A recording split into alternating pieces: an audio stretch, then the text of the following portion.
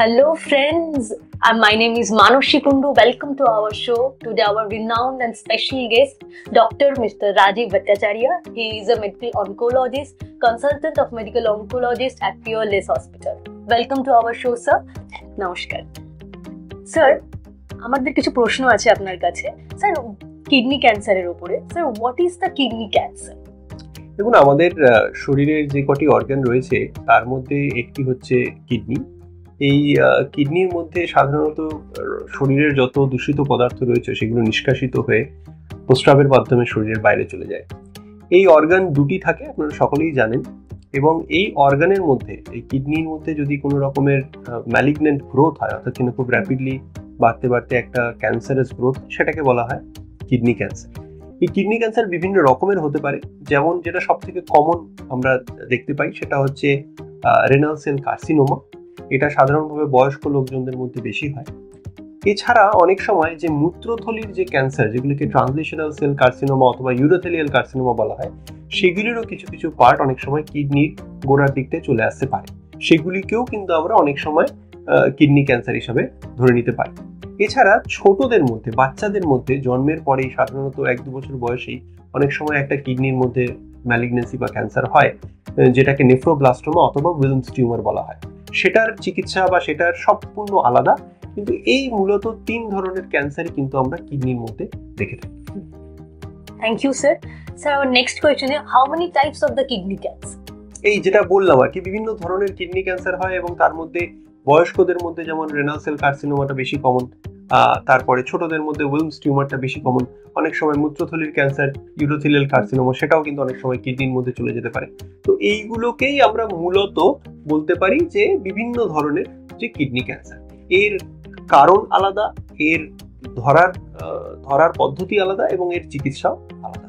Thank you sir what is the early sign of the kidney cancer এমনি মূলত যেটা সর্বপ্রথম আমরা কিডনি ক্যান্সারের ক্ষেত্রে দেখতে পাই সেটা হচ্ছে যে প্রস্রাব যখন কেউ করেন তার মধ্যে যদি রক্ত দেখতে পাওয়া যায় অথবা অনেক সময় একটা বেশ উঁচু ভাব, আমাদের ফ্ল্যাঙ্ক বা আমাদের যে শরীরের পাশের দিকটায়, ঠিক যে চেস্ট তার ঠিক নিচে পেটের ওপরের দিকের সাইডে যদি একটা কোনো টিউমারের মতো একটা কোনো গ্রোথ বা ফোলা ভাব দেখতে পাওয়া যায়, এছাড়া অনেক সময় ব্যথা, এইগুলি হতে পারে। এইগুলি মূলত কিডনি ক্যান্সারের প্রাথমিক দিক।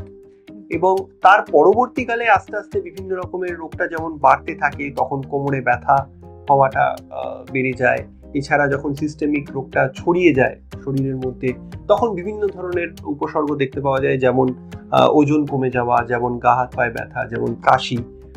ইত্যাদি। কিন্তু মূলত আমরা যেটা বলব যে কিডনি ক্যান্সারের একদম প্রথম দিকে যেই উপসর্গগুলো নিয়ে পেশেন্ট আমাদের কাছে প্রেজেন্ট করে তার মধ্যে সব থেকে কমন হচ্ছে পেচ্ছাপের সাথে রক্ত বেরোনো।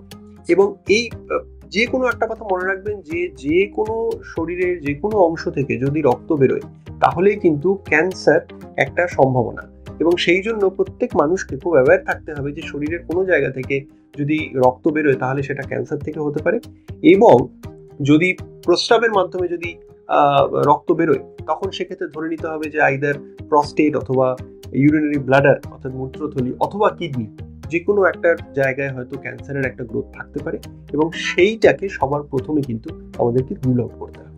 Thank you sir sir how is the kidney cancer diagnosed kidney cancer মূলত আমরা যখনই কোনো এই ধরনের পেশেন্ট ধরুন একজন পেশেন্ট এলেন যার একটা প্রস্রাবের মধ্যে দিয়ে রক্ত বেরোচ্ছে বা যেই উপসর্গগুলির কথা আমি বললাম এক্ষুনি আপনাকে, সেরকম কিছু প্রেজেন্টেশন নিয়ে যদি আমাদের কাছে পেশেন্টরা আসেন, তখন আমরা সবার প্রথমে যেটা করি সেটা হচ্ছে আমরা একটা ইমেজিং করি। এবার এই ইমেজিংটা ইউজুয়ালি আমরা করি হচ্ছে সিইসিটি কেইউবি সিইসিটি মানে কন্ট্রাস্ট এনহ্যান্স সিটি স্ক্যান যে নর্মাল সিটি স্ক্যান তার সাথে আমরা আইবি অ্যাক্সেস করে একটা কন্ট্রাস্ট দিই এবং তারপরে সেটার একটা সিটি স্ক্যান তোলা হয়। তার ফলে আমরা জানতে পারি যে ওইখানে ওই ক্যান্সারের মধ্যে মানে ওই কিডনির মধ্যে কোনো রকম টিউমার ডেভেলপ করেছে কিনা। এরপরে পরবর্তী পদক্ষেপ আমরা যেটা করি সেটা হচ্ছে আমরা দেখি যে রোগটা কতটা অবধি ছড়িয়েছে। অর্থাৎ কিনা রোগটা কি শুধুমাত্র ওই কিডনির মধ্যেই সীমাবদ্ধ রয়েছে? নাকি তার আশেপাশের কিছু গ্ল্যান্ডকে ধরেছে? নাকি পেট ছাড়িয়ে, বুকে, ইত্যাদি জায়গায় চলে গিয়েছে? তো এক্ষেত্রে আমরা whole body PET CT scan বলে এক ধরনের পরীক্ষা হয় যে পরীক্ষাটা কিন্তু করে থাকি। এই হোল বডি পেট স্ক্যানে যদি আমরা দেখি যে শরীরের অন্য কোনো জায়গাতেও রোগটা ছড়িয়ে আছে যেটা ধরতে পারা যায় পেট স্ক্যানের সাহায্যে তাহলে সেক্ষেত্রে আমরা সেই জায়গা থেকে বায়োপসি করি। থ্যাংক ইউ স্যার এবং যদি দেখা যায় যে ওই বাইরের যে যে, যদি অন্য কোনো জায়গায় ছড়িয়ে না থাকে, যদি দেখা যায় যে টিউমারটা শুধুমাত্র কিডনির মধ্যেই সীমাবদ্ধ এবং আমরা যদি মনে করি যে এটা একটা নিঃসন্দেহে একটা কিডনি ক্যান্সার, যেটা হওয়ার সম্ভাবনা প্রবল বেশি, তাহলে আমরা বায়োপসি বা কোনো এফএনএসি ইত্যাদি দিকে যাই না।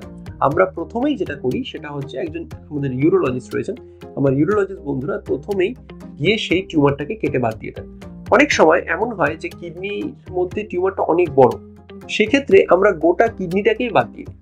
এবং বাদ দিয়ে দেওয়ার পর সেখান থেকে বায়োপসি করা হয় এবং সেই বায়োপসির মাধ্যমে আমরা জানতে পারি যে কিডনি ক্যান্সার কি ধরনের, এটা কি ইউরোথেলিয়াল টাইপ কিডনি ক্যান্সার নাকি renal cell type kidney cancer? এই কিডনি ক্যান্সার যদি রেনাল সেল কার্সিনোমা যেটা সব থেকে কমন হয় আমি বললাম, তারও বিভিন্ন টাইপ আছে, তারও বিভিন্ন গ্রেড আছে।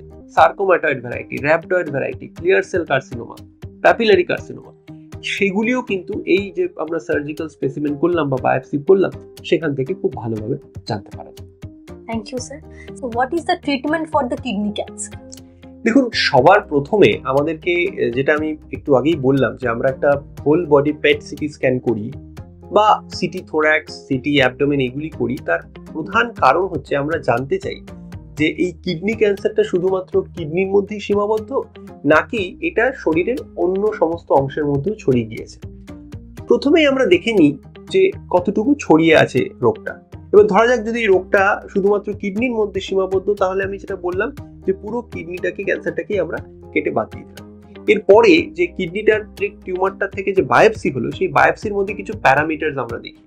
এই প্যারামিটার্সগুলো দেখে নিয়ে আমরা বলতে পারি যে এই অপারেশন হয়ে যাওয়ার পরে এই পেশেন্টের কোনো অ্যাডিশনাল অ্যাডজুভেন্ট থেরাপির প্রয়োজন আছে কিনা? অ্যাডজুভেন্ট থেরাপি মানে কি? অ্যাডজুভেন্ট থেরাপি মানে ধরুন ডেফিনেটিভ একটা সার্জারি হলো সার্জারি করে আপনার রোগটাকে সারিয়ে দেওয়া হলো, কিন্তু রোগটা যাতে ফিরে না আসে, তার জন্য আমরা অনেক সময় মেডিকেল অনকোলজিস্টরা কিছু থেরাপি করে দিই। যার মধ্যে এই মুহূর্তে যেটা একদম লেটেস্ট এসেছে, সেটা হচ্ছে ইমিউনোথেরাপি এই অপারেশন হয়ে যাওয়ার পর যদি আমরা দেখি যে কিছু হাই রিস্ক ফিচার্স সেই টিউমার বায়োপসির মধ্যে রয়েছে এবং রোগটা ফিরে আসার একটা সম্ভাবনা রয়েছে ভালো রকম, তাহলে সেক্ষেত্রে আমরা এক বছরের জন্য ইমিউনোথেরাপি দিই। এই ইমিউনোথেরাপির নাম টেম্ব্রলিজুম্যাব এই ইমিউনোথেরাপি দিলে তাহলে সেক্ষেত্রে রোগটা ফিরে আসার সম্ভাবনা অনেকাংশে কমে যায়। দু নম্বর, যদি দেখা যায় যে রোগটা ছড়িয়ে গিয়েছে, সারা শরীরের মধ্যে ছড়িয়ে গিয়েছে, তাহলে সেক্ষেত্রে কিন্তু আমরা যেটা করি, প্রথম কথা হচ্ছে আমরা অপারেশনের দিকে যাই না, আমরা তখন সেক্ষেত্রে সিস্টেমিক থেরাপির দিকে যাই। একটা কথা সবসময় মনে রাখবেন যে, ক্যান্সারের যদি কোনো সিস্টেমিক ডিজিজ হয়, অর্থাৎ কিনা শরীরের সমস্ত অংশে ছড়িয়ে গিয়েছে রক্তের মাধ্যমে, তাহলে চিকিৎসাটাও কিন্তু রক্তের মাধ্যমেই করতে হবে। অর্থাৎ রক্তের মধ্যে আমাদেরকে একটা ওষুধ দিয়ে দিতে হবে, সেটা ওরাল ট্যাবলেট হয়ে রক্তে যেতে পারে অথবা ডাইরেক্টলি আইভি চ্যানেল করেও রক্তের মধ্যে দেওয়া যেতে পারে। সেই সিস্টেমিক থেরাপি দিয়েই কিন্তু আমরা মেটাস্টেটিক যে কিডনি ক্যান্সার হয় তার চিকিৎসা করতে পারি। এবারে কি কি ধরনের সিস্টেমিক থেরাপি আমাদের হাতে আছে? কিছুদিন আগে পর্যন্ত আমরা শুধুমাত্র কিছু ওরাল ট্যাবলেটস আমরা দিতাম। এই প্রথমেই বলে রাখা ভালো যে কিডনি ক্যান্সারে যদি আমরা মূল যে রেনাল সেল কার্সিনোমা হয়, সেই কিডনি সেই রেনাল সেল কার্সিনোমাতে কিন্তু কেমোথেরাপির কোনো রোল নেই। কিন্তু যদি ইউরোথেলিয়াল টাইপ কার্সিনোমা অর্থাৎ মূত্রথলিতে যেই ক্যান্সারগুলি হয় ব্লাডারে যে ক্যান্সারগুলি হয়, সেগুলি যদি কিডনির মধ্যে হয়, তখন সেক্ষেত্রে আমরা অপারেশনের পরে বা মেটাস্টিস হয়ে গেলেও কেমোথেরাপি দিতে পারি। কিন্তু প্রচলিত বা মূল যে কিডনি ক্যান্সার সেখানে কিন্তু কেমোথেরাপির কোনো রোল নেই। এটা সবার প্রথম কথা। দু নম্বর হচ্ছে যে কিছুদিন আগে পর্যন্ত আমরা শুধুমাত্র ওরাল কিছু ট্যাবলেটস দিতাম, যেগুলিকে বলা হয় টাইরোসিন কাইনাস ইনহিবিটার্স বা টিকেআই যেগুলো যেমন সুনিটিনি প্যাজোপ্যানিন এইটুকুই ছিল আমাদের অস্ত্র। কিন্তু এই মুহূর্তে বিগত পাঁচ, ছ বছর আগে থেকে ইমিউনোথেরাপি নামের একটা নতুন ধরনের চিকিৎসা পদ্ধতি এসেছে, যার ফলে কিন্তু আমরা এই কিডনি ক্যান্সার পেশেন্টদের বহুদিন পর্যন্ত তাদের মেটাস্টেটিক অর্থাৎ স্টেজ ফোর কিডনি ক্যান্সার পেশেন্টদেরও কিন্তু আমরা আয়ু বহুদিন পর্যন্ত বাড়িয়ে দিতে সক্ষম হয়েছি।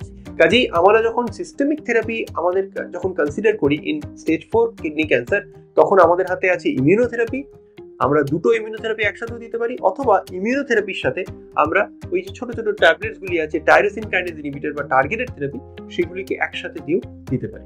এর ফলে পেশেন্টের আয়ু স্টেজ ফোর কিডনি ক্যান্সারেও বহু দিন বহু বছর পর্যন্ত বাড়িয়ে দিতে আমরা সক্ষম। ধন্যবাদ স্যার স্যার আমাদের পরবর্তী প্রশ্ন হচ্ছে what we can do to reduce to risk of the kidney cancer দেখুন কিডনি ক্যান্সারের রিস্ক ফ্যাক্টরসগুলো সবার প্রথমে জানতে হবে। রিস্ক ফ্যাক্টরের মধ্যে কিছু কিছু হয় যেগুলি মডিফাইবল অর্থাৎ আপনি আপনার জীবনশৈলীর পরিবর্তন করে আপনি সেই রিস্ক ফ্যাক্টরগুলোকে চেঞ্জ করতে পারেন। আবার কিছু কিছু হয় নন মডিফাইবল অর্থাৎ কিনা সেটা আর আপনার কিছু করার নেই, আপনার হাতের বাইরে। এই নন মডিফাইবলের মধ্যে সবার প্রথম যেটা আছে সেটা হচ্ছে জেনেটিক ফ্যাক্টর অনেকের ফ্যামিলির মধ্যেই এই কিডনি ক্যান্সারের যে জেনেটিক মিউটেশন সেটা তাদের ব্লাড ব্লাড লাইনের মধ্যেই থাকে। তো সেই সব ক্ষেত্রে আপনাদের শুধুমাত্র যেটা হতে হবে সেটা হচ্ছে অ্যাওয়্যার থাকতে হবে, সচেতন থাকতে হবে যাতে আপনি যদি কোনো এই ধরনের উপসর্গ আপনি দেখতে পারেন, তাহলে সাথে সাথে ডাক্তারবাবুর কাছে গিয়ে তার প্রপার অ্যাপ্রোচ বা প্রপার অ্যাসেসমেন্ট আপনারা করতে পারেন, যাতে তাড়াতাড়ি আর্লি স্টেজে এই রোগটা ধরা পড়ে।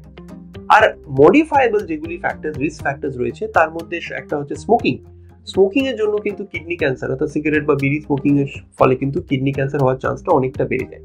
এছাড়া যদি কোনো মানুষ অত্যন্ত মোটা হন ওভারওয়েট হন অ্যাক্টিভ কোনো লাইফস্টাইল যদি তিনি ঠিকঠাক করে না নিতে পারেন, তাহলেও কিন্তু সেক্ষেত্রে তাদের একটা কিডনি ক্যান্সার হওয়ার সম্ভাবনাটা বেশি থাকে। অনেক সময় পেশেন্টদের প্রেশার যদি একটা আনকন্ট্রোল যদি হাইপার টেনশন থাকে বা হাই ব্লাড প্রেশার যদি থাকে, তখনও কিন্তু কিছু কিছু ক্ষেত্রে দেখা গিয়েছে যে তাদের মধ্যে কিডনি ক্যান্সার হওয়ার সম্ভাবনাটা বেশি। যদি কারও কিডনির মধ্যে অন্য কোনো রোগ থাকে যার জন্য তাদেরকে রেগুলার বেসিসে ডায়ালিসিস নিতে হচ্ছে, তখনও কিন্তু সেই সমস্ত মানুষরাও কিন্তু একটা হাই রিস্ক স্টেটে থাকেন এই কিডনি ক্যান্সার হওয়ার জন্য। তাহলে এইখানে আমরা যেটা বলতে পারি যে এক নম্বর হচ্ছে মোস্ট ইম্পর্টেন্ট কি? মোস্ট ইম্পর্টেন্ট হচ্ছে স্মোকিং বন্ধ করতে হবে। নাম্বার টু হচ্ছে হেলদি একটা লাইফস্টাইল অ্যাক্টিভ লাইফস্টাইল আমাদেরকে লিড করতে হবে। খাবার দাবার প্রপার হেলদি ডায়েট নিতে হবে এবং সেই সাথে অ্যালকোহলটা অ্যাভয়েড করা ভালো। চেষ্টা করতে হবে যাতে আমাদের এটাও একটা লাইফস্টাইল ফ্যাক্টর যে হাই ব্লাড প্রেশার সেই হাই ব্লাড প্রেশার যদি থাকে সেটাকেও ডাক্তারের অনুমতিক্রমে এবং ক্রমে কমিয়ে রাখতে হবে। এই সমস্ত কিছু যদি আপনারা করতে পারেন তাহলে সেক্ষেত্রে কিন্তু একজন মানুষের কিডনি ক্যান্সার হওয়ার চান্স অনেকটা হলেও কমে যায়। ধন্যবাদ স্যার আমাদের সঙ্গে এতক্ষণ থাকার জন্য এগুলো প্রশ্নের উত্তর দেওয়ার জন্য। সকলকে অনেক ধন্যবাদ। সবাই বুঝতে পেরেছেন কীভাবে আপনারা প্রত্যেক দিন সুস্থ থাকবেন সচেতন থাকবেন। আর please say no to tobacco and always stay fit and stay healthy life thank you so much